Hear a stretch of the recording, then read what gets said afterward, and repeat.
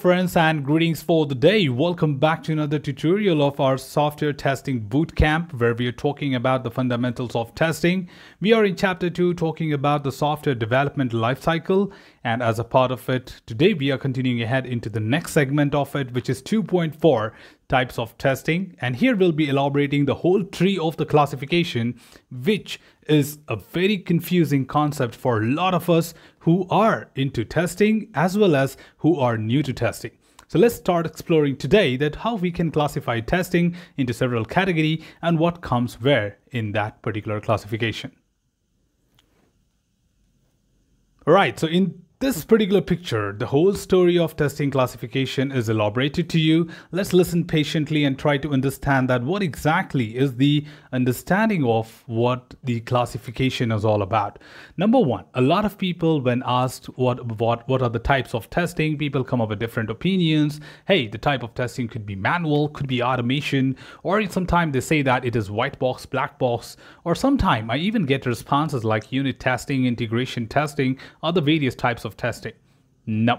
The answer is absolutely wrong because classification of testing is all about the types of testing and it is classified into just two categories that is static testing and dynamic testing.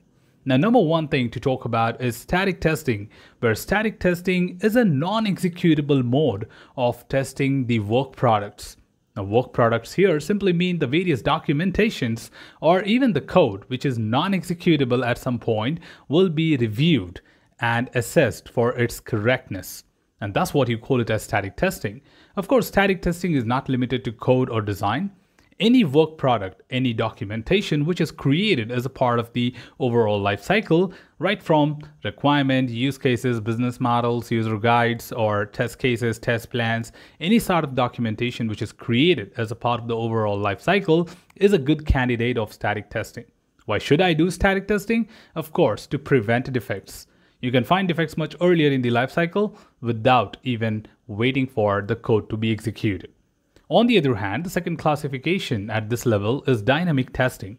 As the name suggests, here we interact with the product. In simple terms, we are executing the code. And of course, these dynamic testing are performed once the implementation has happened. Static testing is prior to dynamic testing, helping you to identify a lot of anomalies in the work products which are prepared, which will be used as a basis for deriving your test cases for running the dynamic testing. That's the relationship between the static and dynamic, and we now pretty much understand that how exactly static and dynamic testing are different and the, are the primary classification of the types of testing. Now, if I deep dive into the static testing on the left side, we have the approach of conducting static testing as review. Review, very generic term, tells you that you're talking about reviewing the various work products which are written or created during the life cycle. Now, there are four different types of review, that is informal review, inspection, walkthrough, and technical review. In a sequence going from lightweight to heavyweight process is informal review, walkthrough, technical review, and inspection. Inspection is the most formal review process, whereas informal review, as the name suggests, is least formal review process. What are these reviews? What are these types of review? We'll be talking separately in detail in our upcoming sessions. On the other hand, if you look at the right side of it, we're talking about the dynamic testing. And here we don't have the types of testing or some kind of classification. Rather, it is called as the levels of testing.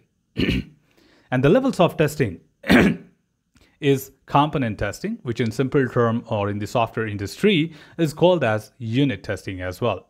There are many other synonyms of component testing like program testing, module testing, class testing, structure testing, or sometimes even just functional testing. The next level is integration testing, which is conducted after the component testing. Then we have system testing and any other non-functional testing will be performed post that. Now, what are non-functional testing? Anything other than what you see on the screen right now is called as a non-functional testing, including performance, security, usability, accessibility, portability, adaptability, and whatnot. There are many levels, more than 50, which can be organized and conducted for a particular product. On top of it comes the acceptance testing. When you are done with everything, you ask the business to accept it by performing a level of test. Now, these are called as levels of testing and the difference between the types and the levels is that Types, you can choose any one of them relevant for that particular work product or that particular activity. But when it comes to the levels of testing, of course, we are talking about all of them and in the right order, in the sequence which is defined. You cannot skip anything. You cannot define your own you know option that hey i just want to do component testing and i want i don't want to do system testing no it has to happen all of them and in the right sequence and that's why you call it as levels of testing under dynamic. Now people several times come back and ask me that all right we understand your classification pretty much but tell us where does the manual automation falls? The manual automation falls right at the top. These are two different approaches to conduct entire software testing. If you're doing it without any intervention of the tools, you call it as manual testing, which is interactive testing or a user is trying to do the test directly by having the personal intervention. Whereas automation testing is done with help of the tool, where automated work will happen, you provide the instructions to the tool and the tool will do the necessary job for you. Right? So the two different approaches to conduct entire software testing is manual and automation. Whereas on the dynamic side of it, we do have two different approaches.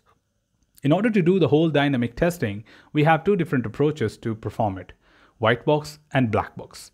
Where white box simply means that when a person who has the understanding of the backend code and performs the testing at the code level is called as white box testing approach. Now, generally, a developer will be responsible for doing that, given the developer is the person who has the understanding of the code. On the other hand, if a person is performing testing on the front end, that is user interface, then this person will be doing it at the front end by providing the necessary inputs and seeking the desired output. Now this approach is what you call it as black box testing approach. And the whole dynamic testing can use any of these approaches. It's nowhere a classification, it's nowhere a rule that unit testing is a type of white box or white box is a type of unit testing. Not at all. It's just a myth, it's just a confusion which people have because unit testing as a best practices uses white box testing approach, whereas system testing makes use of black box testing approach. But it is not a classification, it's a best practice. Today, if you are using white box testing for unit testing, you never know, tomorrow the best practice changes and it can be done using black box testing as well. So there are no such further classification that the levels of testing fall under uh, the two different approaches? No, the whole dynamic testing can be performed with any of these approaches. Yes, of course, there is a further classification which we have on the high level as functional and non-functional for the levels of testing, which we'll be covering in the next chapter. So we will be talking about in more detail about this classification further as we step into this. Finally, there are two more topics which I have on the screen right now, which is called as verification and validation. On this classification itself, on the left side, whatever you see that is static testing and the types of review is called as verification. Verification is a process of measuring the correctness of what you are building up. The measuring of correctness simply means that when I'm writing the requirement, when I'm building up the design, when I'm creating algorithms, writing flowcharts, and any other use case, business model, etc., are they correct or not? Right? It has nothing to do with the requirement right now, nothing to do with the expectation, and it's just limited to the correctness of what you're building up. For example, if I've asked you to create a program to add two numbers, and if the program is able to add two numbers, is what we are talking about verification.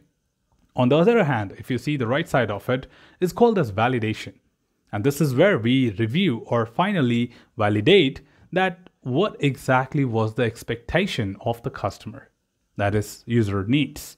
And here, we're just not limited to correctness, we are talking about completeness and appropriateness too. That simply tells us that, hey, though you built a program for adding two numbers, was this exactly the customer expectation? What if they were expecting multiplication of two numbers? Then verification passed, though your program is doing a good addition, but validation failed, right? So verification and validation are very you know commonly heard with two golden statements that are you building the product right? Are you building the right product? When you say product right is correctness, which is verification. If I say right product, it is validation, which is about dynamic testing, right? So this is what the basic classification to tell you the clarity that what exactly are we expecting from the overall system. I hope you have a good understanding of what exactly classification of testing is all about now.